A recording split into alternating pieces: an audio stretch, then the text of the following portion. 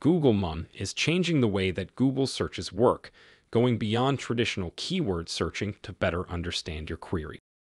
This video will explore how the Google Mum update could impact your My Business listings and search results on Maps. 1. Google will be delivering better results to queries and giving searchers the answers they need by pulling keywords from business descriptions, business posts, reviews, and review responses, and much more. Every single aspect of your business listing, including the website linked to it, will contribute in the way that Google sees and reads each entity. 2.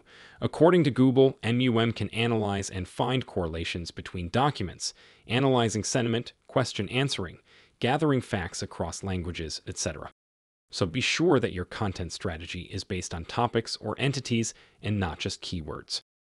The best way to ensure that your listings are topical and relevant for users' needs is by focusing on EAT or topic depth. Don't dilute the relevance of your business listing by posting content that is targeting too many broad topics focus only enhances it. You should also create new content which answers users' most pressing questions around your business niche. 3.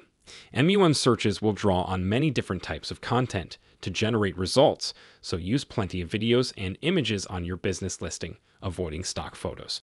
Adding photos that express and better dress the intent of your business will make a huge difference here. Make sure that Google's Image AI understands that your business images are directly related to the categories, goods, and services you currently sell or service. 4. He content of your site.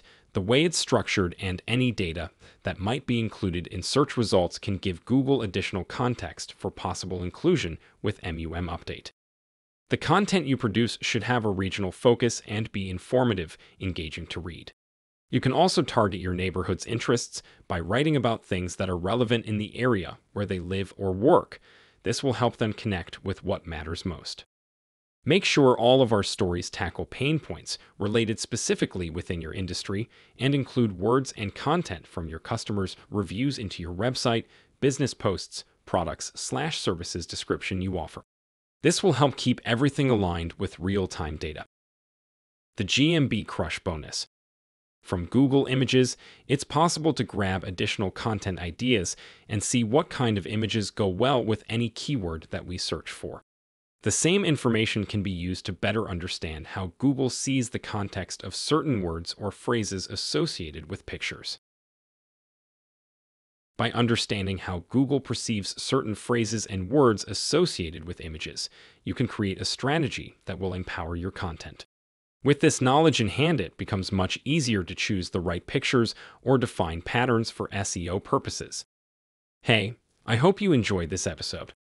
Please be sure to subscribe and leave some feedback in the comments below. See you in the next video.